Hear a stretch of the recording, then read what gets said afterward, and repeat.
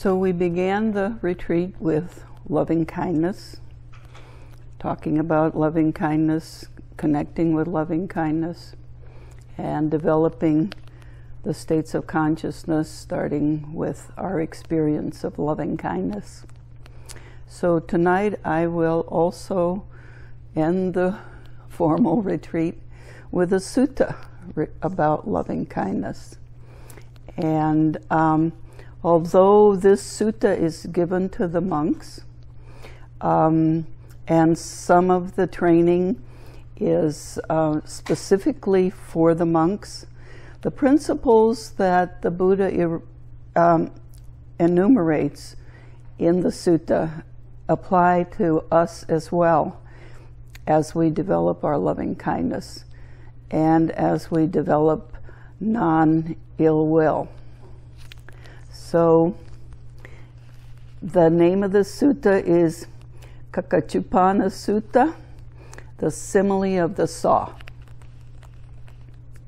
This I have heard on one occasion the Blessed One was living at Savatthi in Jeta's Grove, Anathapindika's Park.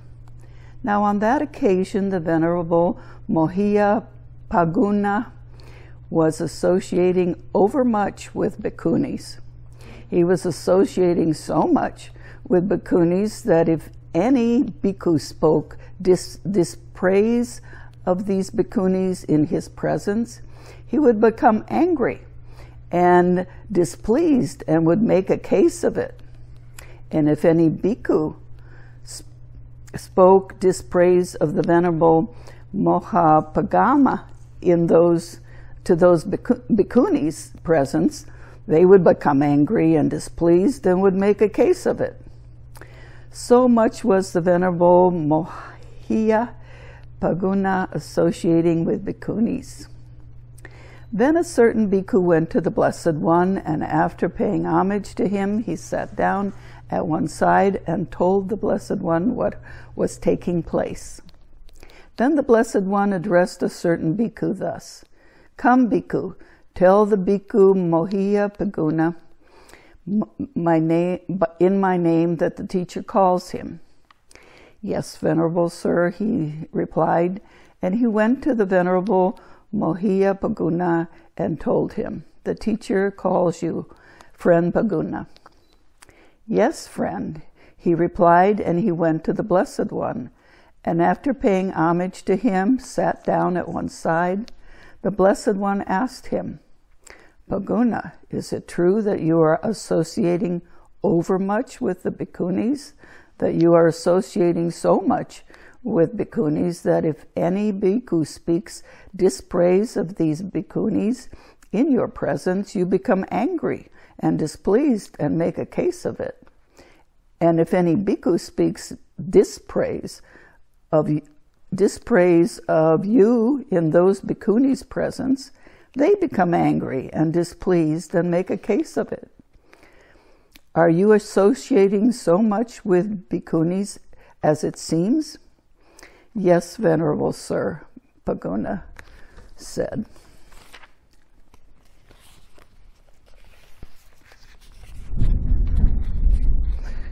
Phagguna, are you not a clansman who has gone forth out of the out of faith for the home? Are you not a clansman who has gone forth out of faith from the home life into homelessness? Yes, Venerable Sir. Phagguna, is it not proper for you, a clansman gone forth out of faith from the home life into homelessness, to associate overmuch with bhikkhunis? Therefore, if anyone speaks dispraise of these bhikkhunis in your presence, you should abandon any des- desires and any thoughts based on the household life. And herein you should train thus my mind will be unaffected, and I shall utter no evil words. I shall abide compassionate for his welfare with a mind of loving kindness without inner hate. That is how you should train Phagguna. If anyone gives these bhikkhunis a blow with his hand, with a clod, with a stick, or with a knife in your presence, you should abandon any desires and any thoughts based on the household life. And herein you should train thus My mind will be unaffected. If anyone speaks dispraise in your presence, you should abandon any desire and any thoughts based on the household life. And herein you should train thus My mind will be unaffected. If anyone should give a blow with his hand, with a clod, with a stick, or a knife, you should abandon any des- desires and thoughts based on the household life. And herein you should train thus My mind will be unaffected, and I shall utter no evil words. I shall abide compassionate for his welfare, with a mind of loving kindness, without inner hate. This is how you should train Phagguna.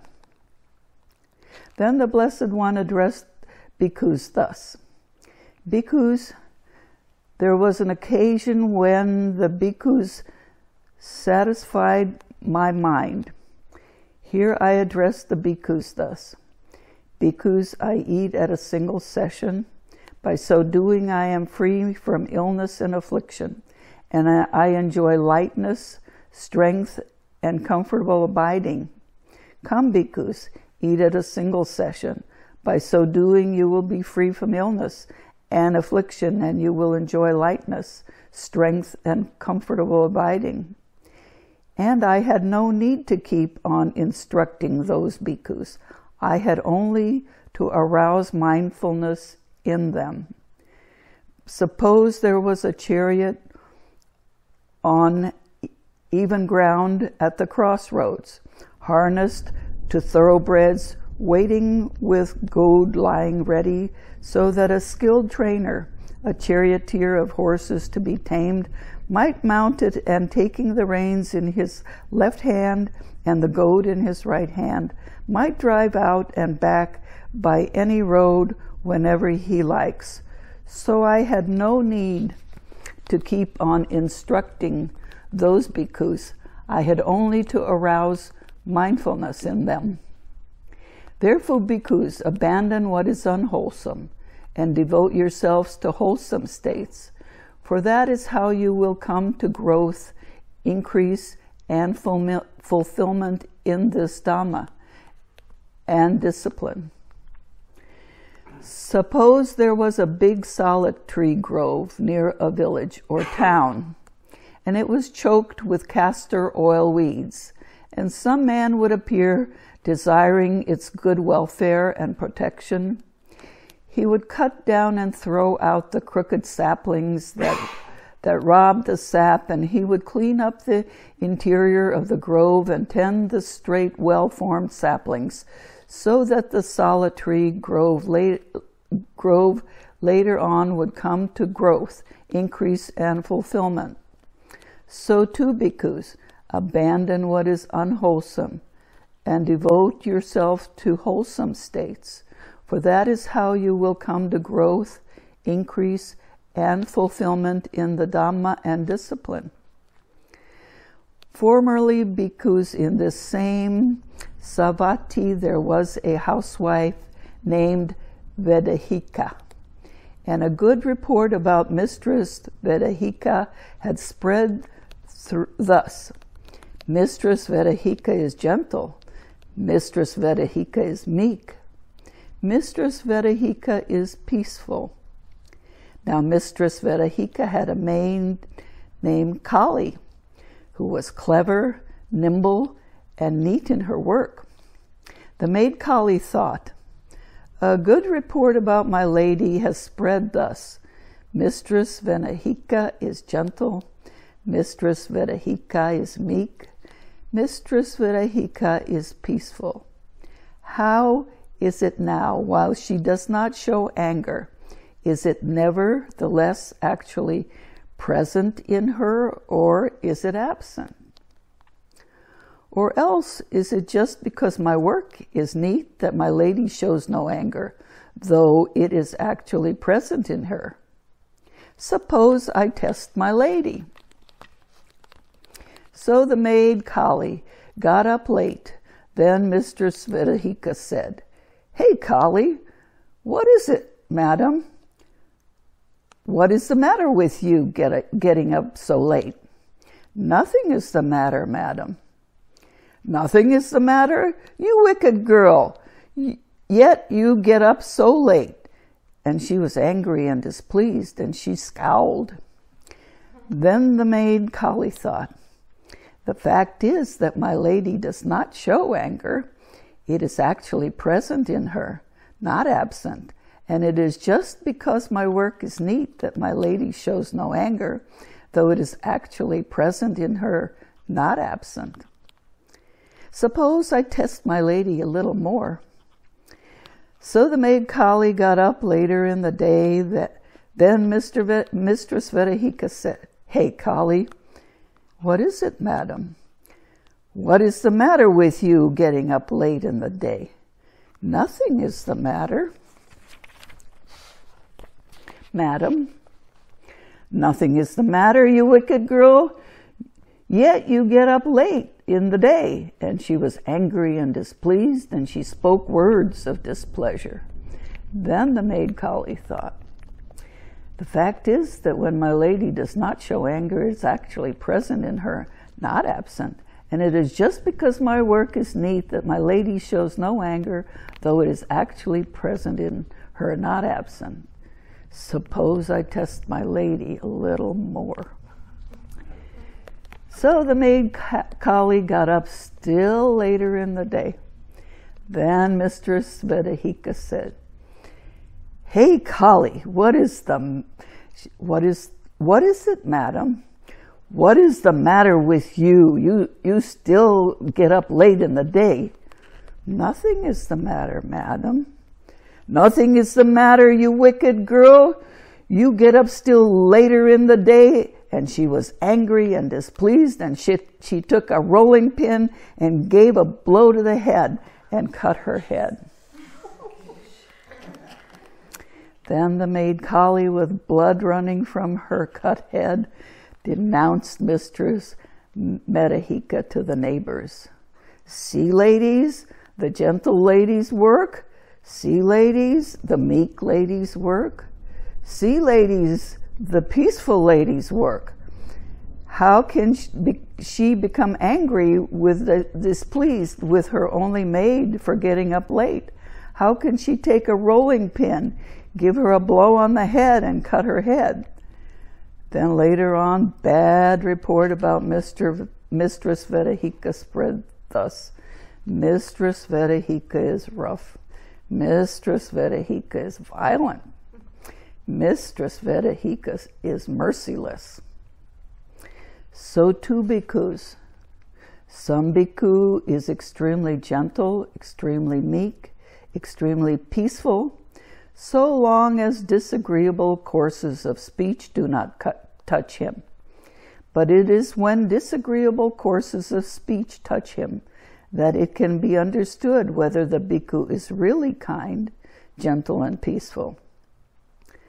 I do not call a bhikkhu easy to admonish, who is who is easy to admonish and makes himself easy to admonish only for the sake of getting robes, alms food, and resting place, and med- medical requisites. Why is that? Because that bhikkhu is not easy to admonish nor make himself easy to admonish when he gets no robes, no alms food, no resting place, and no medical requisites. But when a bhikkhu is easy to admonish and makes himself easy to admonish because he honors, respects, and reveres the Dhamma, him I call easy to admonish. Therefore, bhikkhus, you should train thus. We shall be easy to admonish and make ourselves easy to admonish because we honor, respect, and revere the Dhamma. That is how you should train bhikkhus. Bhikkhus, there are these five courses of speech that others may use when they address you. Their speech may be timely or untimely, true or untrue, gentle or harsh, connected with good or with harm, spoken with a mind of loving kindness or with inner hate. When others address you, their speech may be timely or untimely. When others address you, their speech may be true or untrue. When others address you, their speech may be gentle or harsh. When others address you, their speech may be connected with good or with harm. When others address you, their speech may be spoken with a mind of loving kindness or with inner hate. Here in bhikkhus you should train thus. Our minds will remain unaffected, and we shall utter no evil words. We shall abide compassionate for their welfare, with a mind of loving kindness, without inner hate. We shall abide pervading that person with a mind imbued with loving kindness, and uh, starting with him, we shall abide pervading the all encompassing world with a mind imbued with loving kindness, abundant, exalted, immeasurable, without hostility, and without ill will. That is how you should train bhikkhus.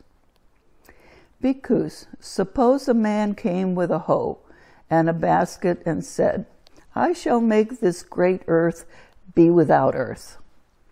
He would dig here and there, strew the soil here and there, spit here and there, and urinate here and there, saying, Be without earth, be without earth. What do you think, bhikkhus? Would that man make this great earth to be without earth? No, venerable sir. Why is that?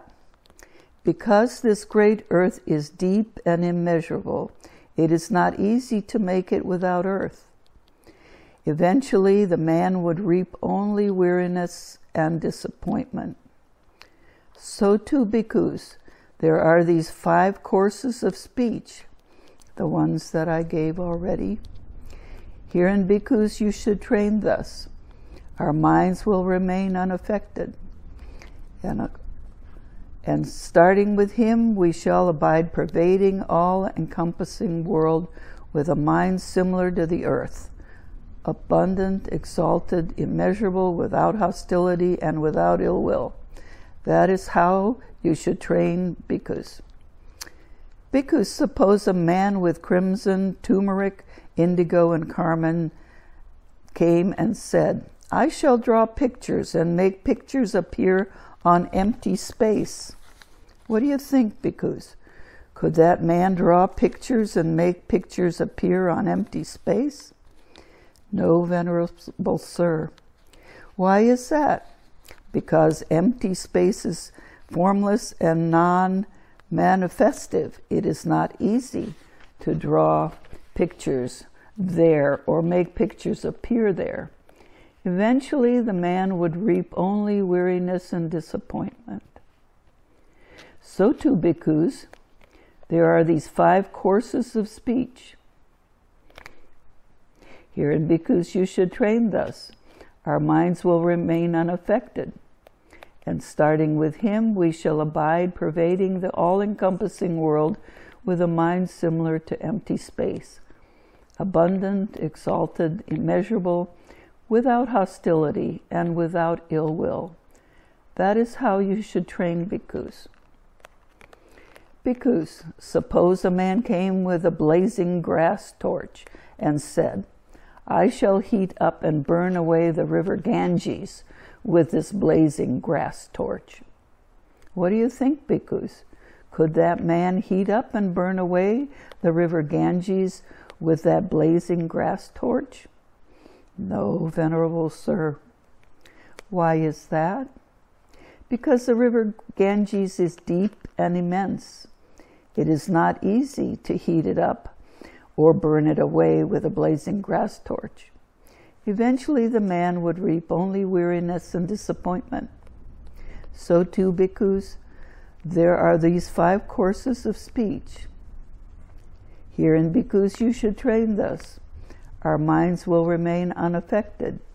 And starting with him, we shall abide, pervading the all encompassing world with a mind similar to the river Ganges, abundant, exalted, immeasurable, without hostility, and without ill will. This is how you should train bhikkhus. Bhikkhus, suppose there was a catskin bag that was rubbed well, well rubbed, thoroughly well rubbed, soft, silky, rid of rustling, rid of crackling, and a man came with a stick or a potsherd and said, There is this catskin bag that is rubbed, rid of rustling, rid of crackling. I shall make it rustle and crackle. What do you think, bhikkhus? Could that make, man make it rustle or crackle with the stick or the potsherd? No, venerable sir. Why is that? Because the catskin bag being rubbed, rid of rustling, rid of crackling, is not easy to make it rustle or crackle with the stick or with a potsherd. Eventually, the man would reap only weariness and disappointment. So, to bhikkhus, there are these five courses of speech that others may use when they address you. Their speech may be timely or untimely, true or untrue, gentle or harsh, connected with good or with harm, spoken with a mind of loving kindness or with inner hate. When others address you, their speech may be timely or untimely. When others address you, their speech may be true or untrue. When others address you, their speech may be gentle or harsh. When others address you, their speech may be connected with good or with harm. When others address you, their speech may be spoken with a mind of loving kindness or with inner hate. Here in bhikkhus you should train thus. Our minds will remain unaffected, and we shall utter no evil words. We shall abide compassionate for their welfare, with a mind of loving kindness, without inner hate. We shall abide pervading the person with a mind imbued with loving kindness.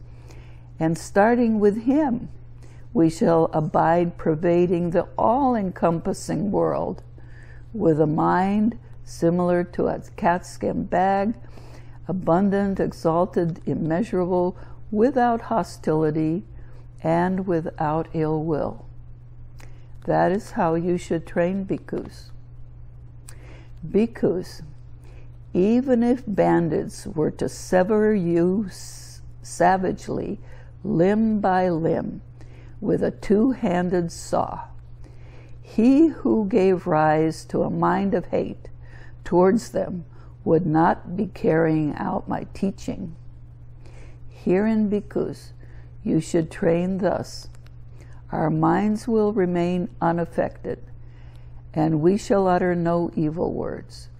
We shall abide compassionate for their welfare, with a mind of loving kindness, without inner hate. We shall abide pervading them with a mind imbued with loving kindness. And starting with them, we shall abide pervading the all encompassing world with a mind imbued with loving kindness, abundant, exalted, immeasurable, without hostility, without ill will.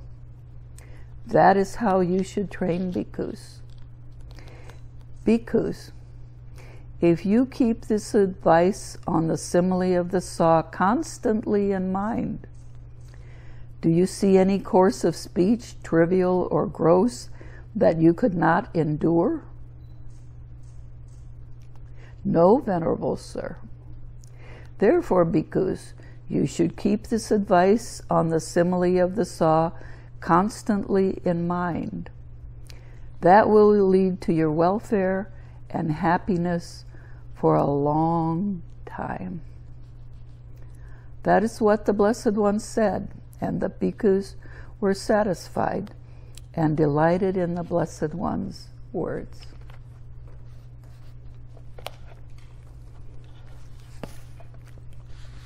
And I have a handout for you, maybe um, you could come up and hand it out to everyone.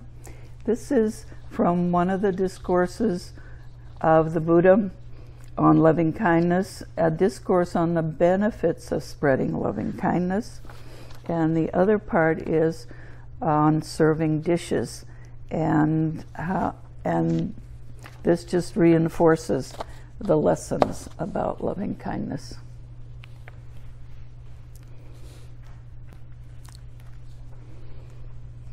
Open for questions about any topic that you want to bring up from the week or from the discourse or but I will say that one of the questions that came up I think um, is very pertinent to what we do uh, what we could do when we leave um, the retreat. And that is uh, really keeping in mind this discourse because in the workaday world, in the world of our daily life, we have a lot of verbiage that is coming at us, either on the internet or coming at us um, from family and friends or coming at us from our work colleagues, and it's not right speech. And people are attached to their views and they're very passionate about what they think should be done for the future and they have uh, clinging and craving and all that going on. So, what to do? I think this particular sutta tells you how you can retreat from a unwholesome engagement with either the news or the um, internet chatter or all the other kinds of communication that go on in daily life and really use the principle of not engaging in an unkind and an un- unwholesome way. It is a great refuge because right now our world is in a big turmoil. I mean, there's wars going on, there's political battles going on, everybody's stabbing each other with verbal daggers, and um, if you can touch in on the peacefulness and the loving kindness, realizing this is all coming out of a ball of suffering. And so um, using the Buddha's teaching as a refuge, I think that is a wonderful, a wonderful uh, takeaway from the retreat. Also, the Eightfold Path has eight folds. It's not just the meditation, it's also keeping the precepts. So when you go home, um, strive to keep the precepts as closely as you can. And again, Mara is very, very tricky and will, you know, try to engage you in breaking the precepts and, you know, and um, doing yourself harm. So pay attention to how you keep the precepts and how, what is the growing edge for you to keep the precepts.